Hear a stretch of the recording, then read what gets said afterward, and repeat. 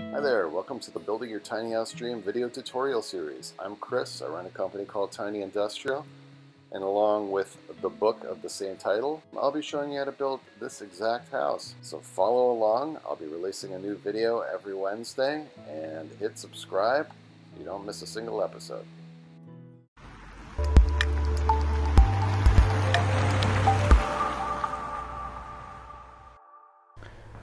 So the next step here is to close in the sides.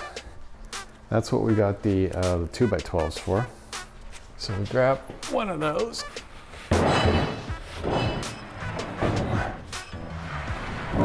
All right, slide this into place. these are 12 footers and we only have a 10 foot trailer here. Drop that in place. Okay, so right away, you can see there's a bit of a problem here. And that this top edge is not flush with this angle iron.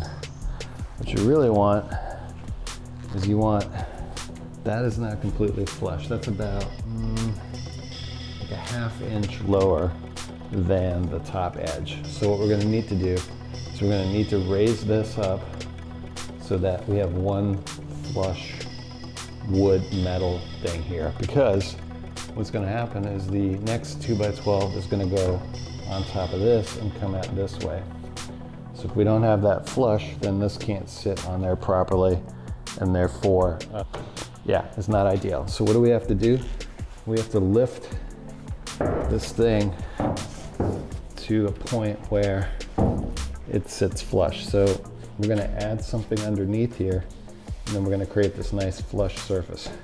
The way that we're gonna do that is most likely we're gonna send something through the, um, maybe a pressure treated one of these for some scraps through it, create whatever the distance is, probably about a half inch. I'm gonna do that on the table saw. And then that's gonna go underneath here and everything's gonna be hunky-dory. Don't crush my water here. Got the table saw set up to make the initial cut. I set it right here to 5 eighths. And we're gonna send um, that piece of pressure treated through there to cut one and a half basically by 5 eighths thick piece that's gonna go under that end. Now on this end it gets a little bit trickier because you have this lip here so that actually raises the board. So since the board is going to end on the lip, this board is going to end on here, you actually need to cover this distance as well. So that actually comes up to closer to an inch. So we're going to cut this end just a hair short of an inch. So what's going to happen is 1 5 eighths cut and then 1 inch that cut and then we're going to put it on there again and see where we're at.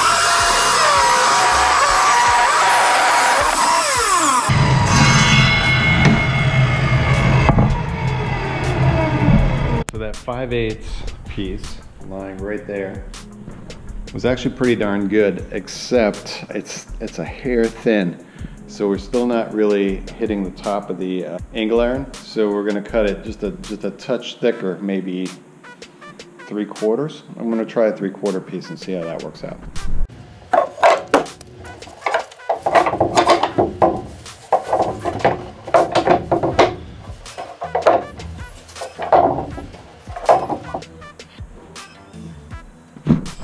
Under there.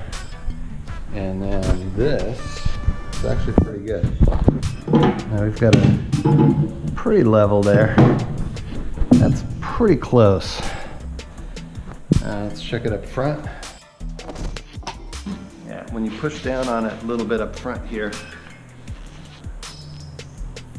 yeah, that's that's good. It's definitely good up front. I feel like we're a touch too high in the back. So we may have to come down a little bit back there. Uh, what I could do is shave off a little bit of what we just cut. And yeah, that should take care of it. I'm still getting this weird wobble in the board, so I realized when I flipped the thing over that this thing was still on there, so that doesn't help. So make sure that any of these clampy things or whatever are gone. But now we've got a nice flush surface here. It's pretty much there. That runs the entire length of it. Closes in the sides as you can see. Nice runs back behind the wheel wells here. And that's all gonna get sealed up and taken care of. Um, one thing we are gonna do is we are gonna move this back an inch and a half. That way the one that closes up the front runs this way. Now why do we do that?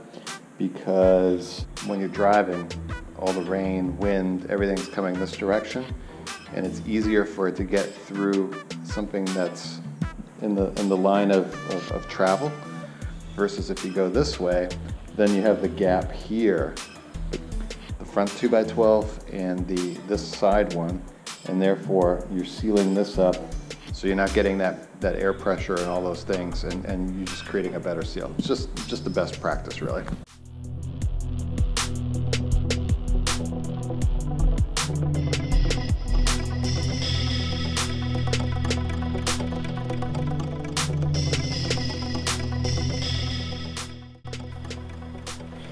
All right, so we're back. So we've created a bit of a space here for the front ply. And then this board touches up against that point. And then we were talking about cutting these down. So therefore this piece has to go. But we have to do it in such a manner that plywood will sit on this rail back a little bit. We have to sort of mimic that all the way across. So we said that, you know, the back of this equals sort of where the outside of the ply has to sit. Then we have to go back roughly three quarters of an inch thickness of the plywood. And that takes you to right here where I've already marked this board to be cut. We're gonna do the same exact thing for the other side over there. And then we're gonna cut these down and that will do it. I've decided actually not to paint these black. It's going to be stained with a sealant and I've gone with a what they call slate gray semi-transparent sealant. So we'll see what that winds up looking like. Bit of an adventure, but so anyway, I'm going to cut this board down, do the same thing over there, and then we'll be ready to stain these, these pieces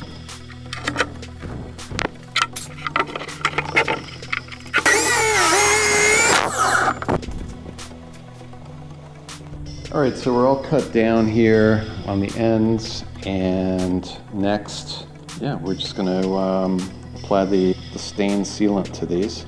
Then it gets exciting because then we gotta do the, uh, the front piece because that's gonna be on the exterior and that's gonna need to be stained as well because it's gonna be facing out that way.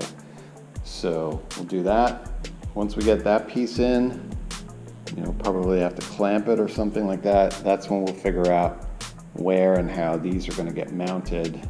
Yeah, and then we, we go on from there to put the, uh, the ones on top of here. Anyway, it's a, it's a, it's a cool process and uh, yeah, let's stain these things.